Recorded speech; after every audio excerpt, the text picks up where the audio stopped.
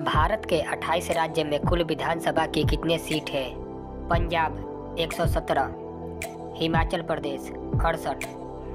उत्तराखंड 70 हरियाणा 90 राजस्थान 200 गुजरात, एक मध्य प्रदेश 230 उत्तर प्रदेश 403 बिहार 243 झारखंड इक्यासी पश्चिम बंगाल दो सौ चौरानवे, सिक्किम, बत्तीस, अरुणाचल प्रदेश, साठ, असम, एक सौ छब्बीस, नागालैंड, साठ, मणिपुर, साठ, मिजोरम, चालीस, त्रिपुरा, साठ, मेघालय, साठ उड़ीसा एक सौ सैंतालीस, छत्तीसगढ़, नब्बे, महाराष्ट्र, दो सौ अट्ठासी तेलंगाना, एक सौ उन्नीस आंध्र प्रदेश, एक सौ पचहत्तर, कर्नाटक, दो सौ चौबीस, गोवा, चालीस, केरल, एक सौ चालीस, तमिलनाडु,